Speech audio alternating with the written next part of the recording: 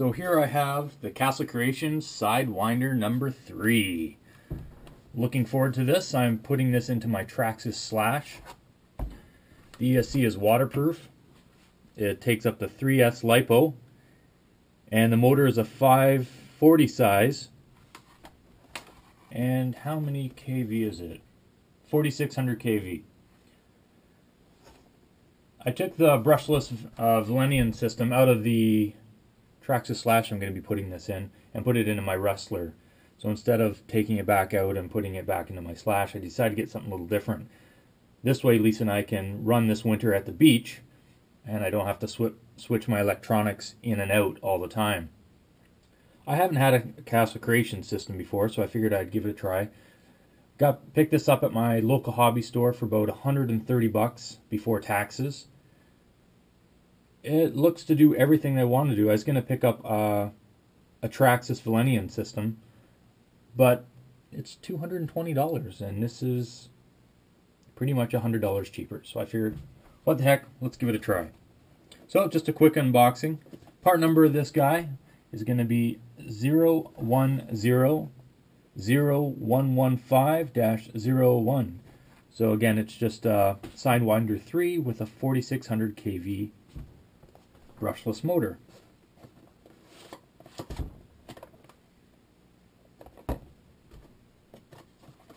Comes in nice solid packaging.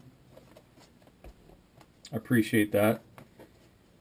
So let's see, let's open up this guy first. What do we got? Stickers. Love stickers. So that's that's something nice to open up too. So we got a driver's ed guide, instruction manual for all Castle Creations surface systems. So make sure I do some good reading there. Quick start guide, gearing chart. Very nice.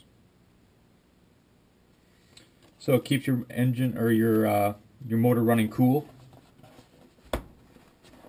Again, always good to know. This way you don't have to do the guesswork. Sidewinder 3. So this is the ESC. Nice black in color. Comes with your switch, your plug that goes into your receiver.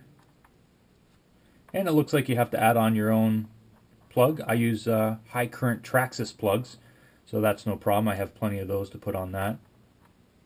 Looking inside the case, you can see where they've done the waterproofing, which is nice.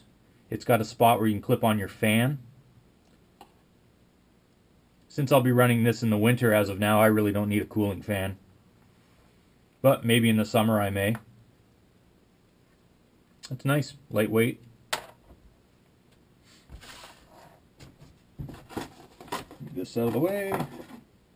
Alright, now to the power system. So this says it's actually four pole. I have never had a four pole motor before. It is a 540 size it comes with nice long leads. I like that. Had a couple systems that come with really, really short leads. Then you have to either extend them or try to move everything around to make it fit. So this will work out perfect.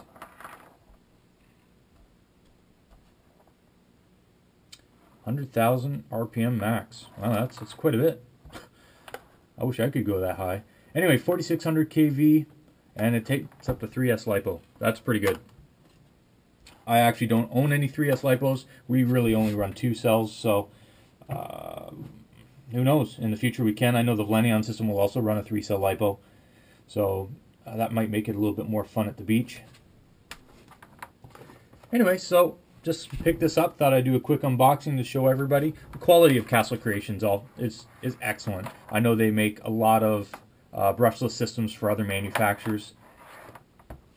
So I can't wait to give it a try.